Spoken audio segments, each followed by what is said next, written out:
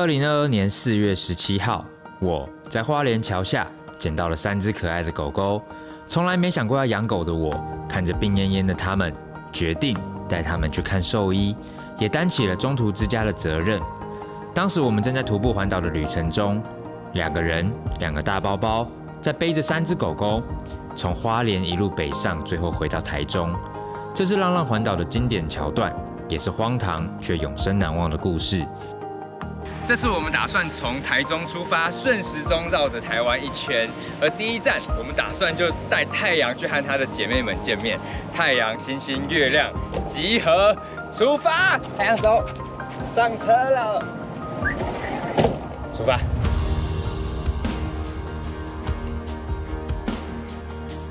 所养的太阳。和他一起生活了快两年的时间，而星星和月亮也变成了妞妞和小白，被送到不同的家庭去生活。而这次是两年后，我打算开着露营车再环岛一圈。但最大的差别是，现在的太阳已经快三十公斤了。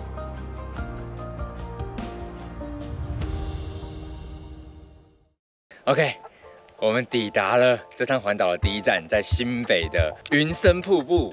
我们跟星星和月亮的主人约在这边，但是昨天晚上得到一个消息，就是星星的主人今天没办法到，所以这一趟旅程呢，会变成是太阳要先跟月亮见面。月亮的主人好像已经到了，我们来找找看他在哪里。久违的相见，Hello Hello，他知道自己叫小白吧？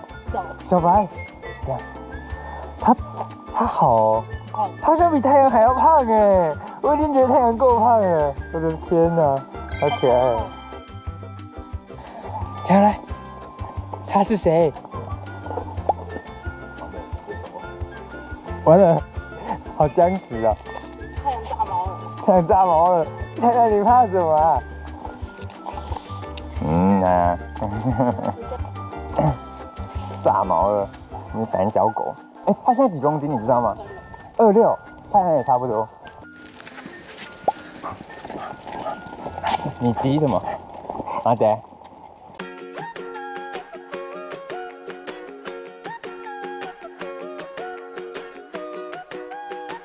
准备开始往云深瀑布。今天这一条路好像会有一点小小的水，它现在会不会很挑食啊？不会。给它饲料，它还是马上吃完吗？对。有一点小感动哎，看到他们这样子大集合，暌违一年半。再次相遇，为什么它走回来都会这样子吐舌头、脸歪歪啊？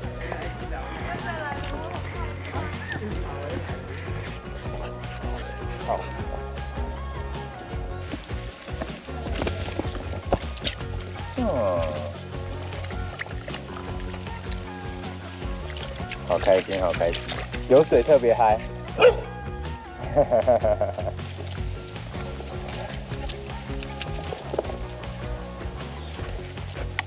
他们感觉已经认识彼此了。小白小心，拜托你小心。哦，这个要小心哦。看马德啊，先给人家走。马德，太阳慢慢来。太阳最怕的就是吊桥，你可以帮我拿这个吗？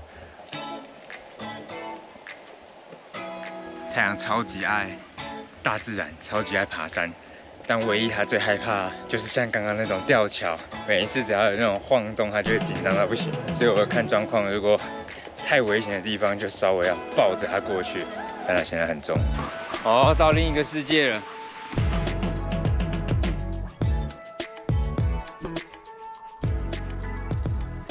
剩下最后一段就要抵达云深瀑布了，听到瀑布的声音了。哦，有最后的小桥，小吊桥，看下来，很陡的感觉。太阳的最后冒险，开始走，小心哦，太阳小心哦。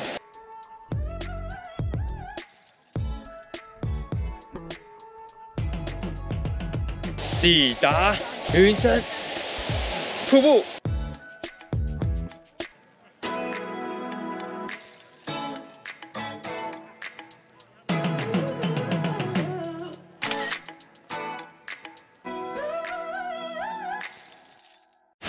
要慢慢下山了吗？走吧，走，准备下山喽。再见，拜拜，拜拜，拜拜。哎，马德，马德，马德，好棒！哎，我有点忘了，当时你私讯我们说要领养狗狗的时候，是你选白色的吗？对啊，那你家人喜欢它吗？真的哦，他们本来就是接受狗狗的，嗯，猫也。猫也可以。看到小白和它的主人的互动，就觉得跟我和太阳的互动其实还蛮类似的。很多的时候，他们都很黏我们，然后都很爱玩，但是却也会一直回头看看我们的位置，不会离我们真的到太远。然后他们在平常在外面也是很乖、很亲人、很亲狗。然后他们的毛色啊，还有健康度。就感觉这两年有把太阳和小白照顾得好，但其实今天没有来的第三只狗狗，也就是当年的星星，现在叫做妞妞，我其实非常担心它。其实早在一年之前就有让三只狗狗见面了一次，当时其实有观察到一些星星的主人有一点疏于照顾的地方，比如说星星都不喝水，它都是有什么饮料给它喝什么饮料，平常没有什么时间陪伴它，也没有在散步。一直到它长得蛮大的，也都没有狗狗的胸背带，就表示它足不出户吧。然后很常收到星星的家人，他的姑姑传的讯息给我们，也都在说它很爱乱咬人啊，然后脾气很暴躁啊，等等的这种感觉，跟它在相处上有很多抱怨的事情。我自己在上一次三只狗狗见面完结束之后，其实我有联络星星的主人，很认真的跟他讲了一番话。我说狗狗是需要陪伴的，发现它好像不是这么的积极或是认真的要照顾星星，然后他也说他会认真的去调整，要好好跟他继续生活。一年之前他是这样子承诺我的，但现在呢，今天他没有出现，可以说是他放鸟我们。原本他约的今天，然后我们配合了他，然后昨天突然告诉我他不能来。而且我蛮想要知道他到底平常是怎么样去照顾星星。当时我捡到他们，我就觉得他们是我的责任。如果他到了一个不是这么合理的环境的话，我也会觉得有点自责。所以我在想看看后续用什么方式来追踪到星星的后续，真的是有点担心了。环岛第一天，太阳跟月亮的大团圆爬山之旅成功。太阳应该现在应该累死了。他也躺在后面，很很悠哉的。很悠哉啊。他好像没有很累。他没有很累吗？嗯。你没有很累啊？因为他已经是冒险王的狗狗了。他平常爬太多山了，但这一次的任务要环整个台湾一圈，也是太阳第二次的挑战。第一次也不算他的挑战，是我的挑战。抱着他的时候。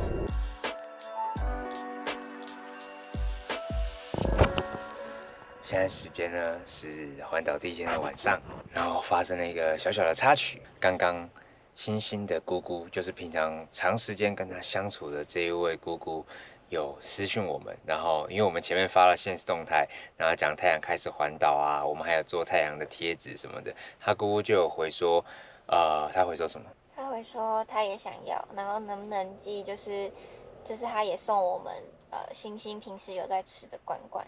对他刚刚就有讲到这个，所以我们想说，哎，我们有一个很好的契机可以来拜访他，然后可以拿贴纸给他。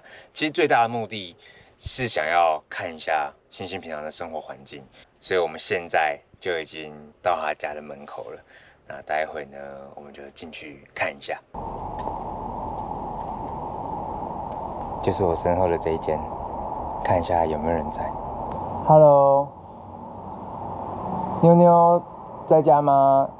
你好，我们是那个之前捡到你们家狗狗的主人。等一下哦。好。我叫那个姐姐。好。刚刚好像是他们家的外佣吗？你好，我是那个太阳的主人。你好，你好，你好，是你是那个跟我们联络的那个吗？素芬。素没有，秀芬呐。就对，哎，秀芬，秀芬是你吗？我不是，我是他，我是他那个妹妹。因为我们是之前捡到你们家狗狗的那个。哦，我知道，我知道。对对对对对。我们可以看一下狗狗吗？你要看到哦，对啊，因为它现在有那个什么外劳在，我们先把它隔离起来，然后等外劳不在的时候，我们才把它放那个什么再放下来，起来是因为他不喜欢它吗？因为他上次有去咬咬伤外劳。哦，真的哦，对他，他有领域力，领域力很强。侵犯他的领域的时候，它会发生。它发生，我们就不想再靠近他了。因为我们我们我们大老远来，想说可以看他一下嘛。你要看他一下。对啊。哦，好吧，欢迎从后面，好不好？好啊。对吧？好。我们家空气是有点乱。好，没关系，没关系。哎呀，问他们要来看妞妞啊。你好。我是太阳的主人，我是子俊。子俊。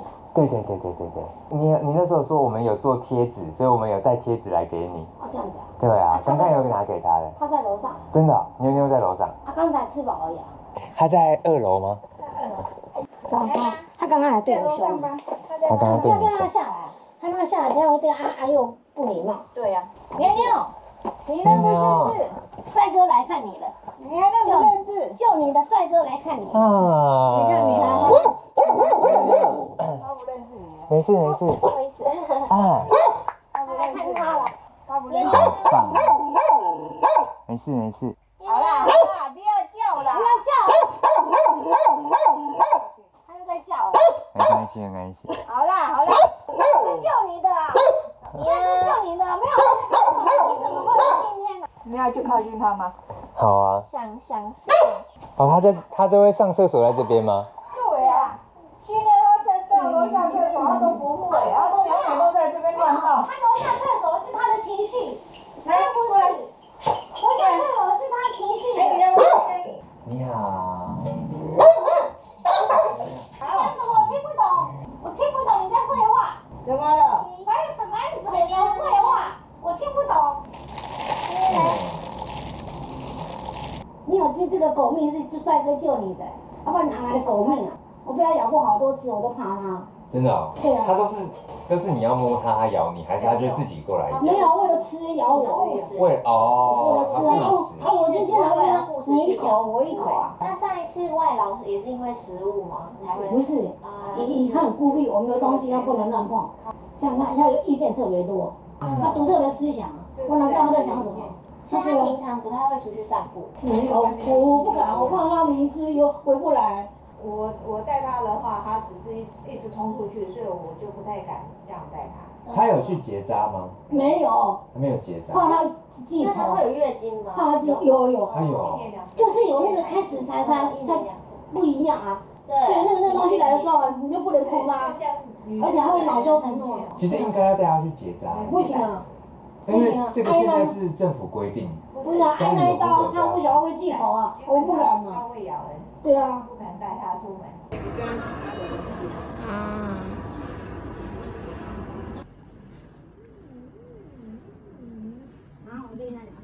哦，所以如果有外佣在的时候，就会把它挡住。对。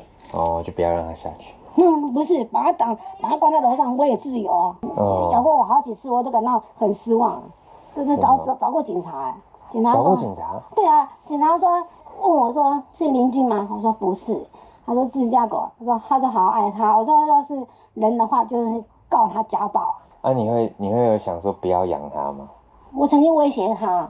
你威胁他？对啊，威胁他，然后然后一次可以，两次可以，久而久之他失灵了。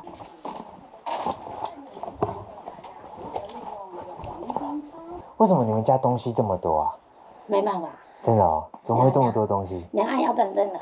他现在跟朋友在外面。对啊。啊，真的。对。那他什么时候才会回来？不知道，一天不住这里，然后三更半夜回来，他回来时间不对劲。林先是那时候养他没多久就带过来这里的，是不是？对。没有，他不会养。他不会养。他不会养。对，他不会养，就不知道怎么照顾他。对啊，都是我在照顾的，应该主人应该是我。要走后面还是前面吗？里面。嗯。对啊。走后门。后门，好。好。结束了。啊，认真讲话一下。老实说，有非常多不合理的地方。哦。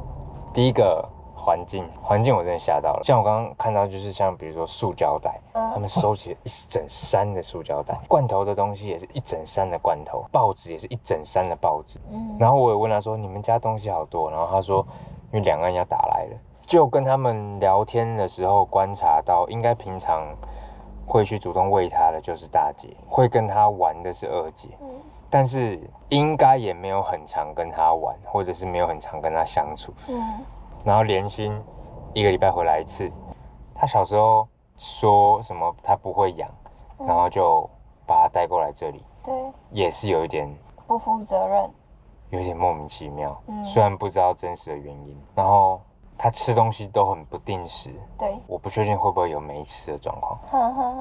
而且他们现在都没有在固定的看医生打预防针，他上一次去看医生已经是一年之前，对，然后。医生都说他有心丝虫嗯。的病，要吃药。嗯。然后回来之后，他给他吃，然后就被咬，嗯。然后就没有再给他吃了。嗯。所以现在他也不知道他到底有没有生病，嗯。然后他也没有让他出门，只有一个大袋子，可能抱着去哪里吧，嗯哼哼哼，但是没有给他真的有走出门的这种机会。对，这些是我们觉得不合理的地方。我刚刚其实在想一点是，那环境真的很不 OK，嗯。但是他们不是只是让狗狗丢在那边，他们自己人也生活在那边。嗯，就是我同时在想是，那他们人能接受，那狗狗就只是跟着主人一起而已，好像不能怎么样。可是我觉得一些健康问题是一定要去提的，嗯。生病这一点，对，整天关在家里都没有出去走这一点，嗯。吃东西很不不定时，嗯然后对这一点，然后我其实比较在意的是连心这个人，因为是他跟我说他要负责任去照顾他的，嗯，但他一个礼拜现在只会回来一天，那他光是说他不会顾，然后就丢过来给他姑姑们照顾，这这一点就已经我就已经对这一点就已经，在说明他不负责任这件事情。当初只是为了一时兴起，想要养这一只狗狗而已。我不想要去质疑感情或者是质疑他们的一些方式，但是我觉得连心这个人，我要再一次好好的跟他讲一下。哼，因为连心今天跟我们说他是他要留守，他是自愿意，所以他没办法来跟我们一起爬山。这是我们好几个礼拜前就已经定好的日期，但是他的家人说他今天其实有回来，所以我现在觉得我应该要打电话跟他讲一下这件事情，我觉得很不 OK。那搞不好现在也也不能接，也不敢接。对啊，可是自愿意有可能可以有手机吧？OK，星星的主人没有接电话，但这件事情后续我一定会再找个时间认真跟他谈话。后面要怎么样改善星星的生活，或者是跟他们讨论什么样才是一个真的对这只狗狗最好的做法？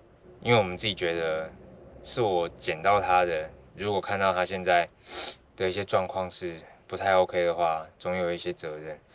所以后续怎么样，目前不知道，等我跟连心联系上，再继续揭晓。但我们的环岛之旅还是得继续。第一天，太阳、星星、月亮大集合，虽然有一点不一样，有一点小插曲，但我们今天都算是见到了他们。而后续的故事，大家继续关注这个系列吧。拜拜。今天太阳要作为校外教学的老师，带大家一起校外教学。看这里是哪里？哦，就是这一座桥下。你还记不记得你曾经被丢在这个桥下？一个太阳、星星、月亮之外，他的兄弟姐妹，我们要来找他们。是哪一只狗狗？是它之前是他